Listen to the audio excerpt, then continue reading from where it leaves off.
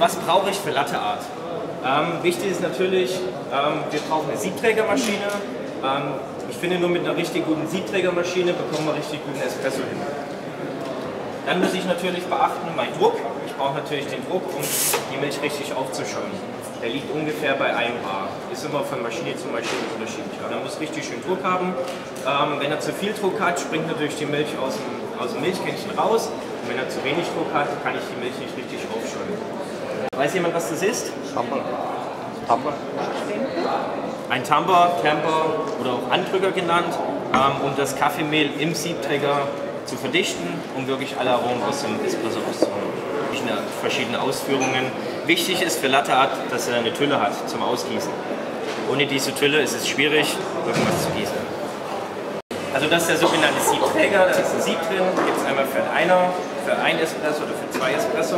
Wichtig ist auch immer, den Siebträger, ihr seht schon, per den Siebträger auszuwischen. Gleichmäßig zu verteilen.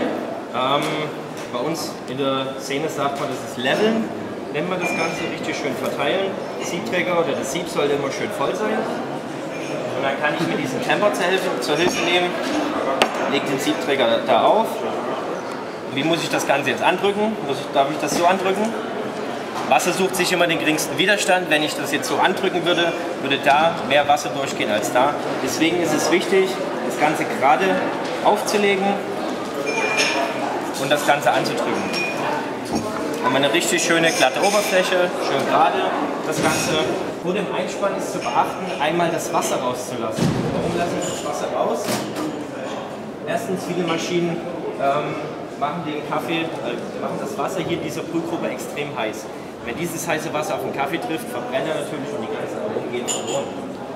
Dann, zweiter Grund ist dafür, ihr seht auch hier, jetzt ist wenig dabei, ähm, einfach um dieses Sieb mal auszuspülen. Warum sofort drücken?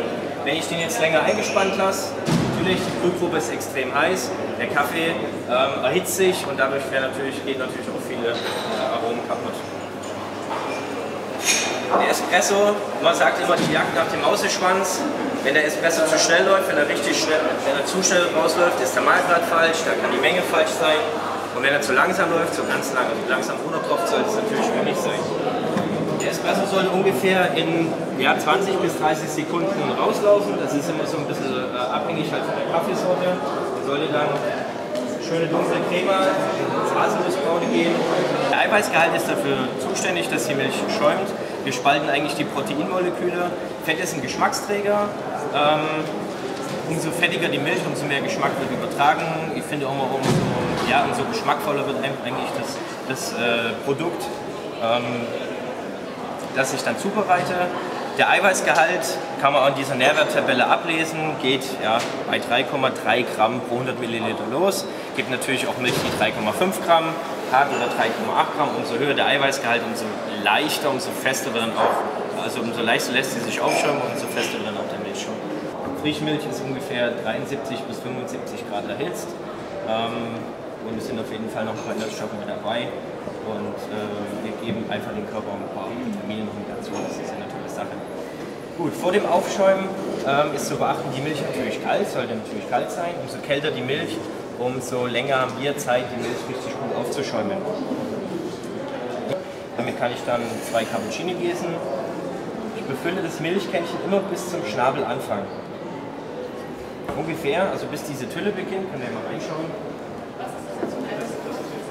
ab 70 Grad gerindes Milcheiweiß. Der Schaum verbrennt dann auch langsam, fällt dann in sich zusammen. 65 Grad ist die ideale Temperatur. Auch dann, wir können dann auch sofort lostrinken, das ist dann gar kein Problem. Ähm, wie fühle ich 65 oder 70 Grad? Genau, also wenn es zu heiß wird am Kännchen, machen wir das dann Ganze aus. Vor dem Milchaufschäumen ist zu beachten, die Dampfpflanze, die Dampfpflanze einmal kräftig auszudampfen, dass das Kondenswasser rauskommt. Das wollen wir nicht mit der Milch haben, das seht ihr auch schon. Das wollen wir halt nicht mit der Milch haben. Deswegen einmal kräftig auspusten. Dann gehe ich ganz leicht mit der Dampfdüse unter die Milchoberfläche und dann hört ihr am Anfang ein Zischen. Da reißt die Milchoberfläche auf und dann gehe ich sofort in die Ziehphase.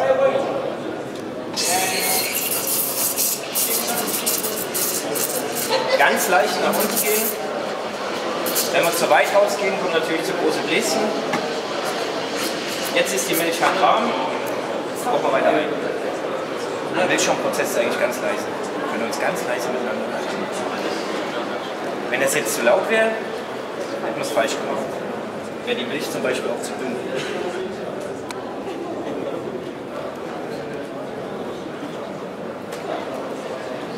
Jetzt mache ich das Ganze aus. Milch anzuschwenken. Richtig schön anzuschwenken, da fängt die Milch an zu mal.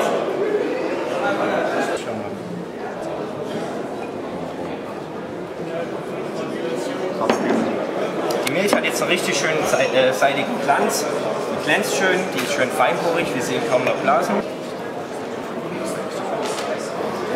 Dann habt ihr die Löffel und könnt einfach mal die Milch schon probieren. Könnt ihr euch auch Löffel nehmen.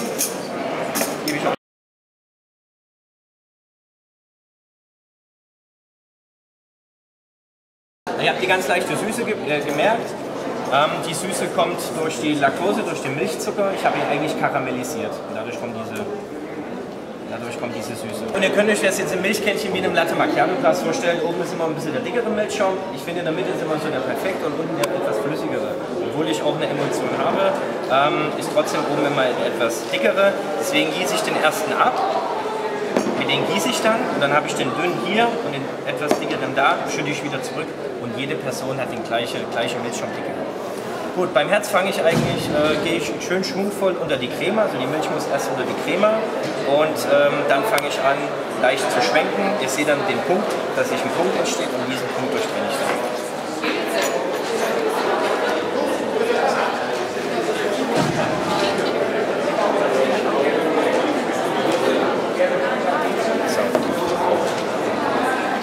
Nochmal. Muss sie nicht ankippen. Ich bin, äh, bin eher dafür, dass man die Tasse ankippt. Ich komme dann näher mit, meinem, mit meinem Auslauf zur Crema hin. Gut. Milch unter die Crema. Jetzt sieht man noch nichts.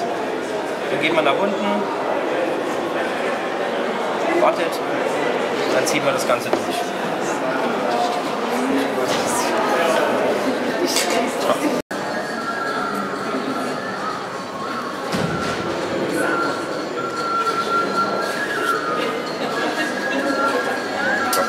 Und dann gehen wir mit Schwammbewegung nach vorne. Und schiebt das immer so nah.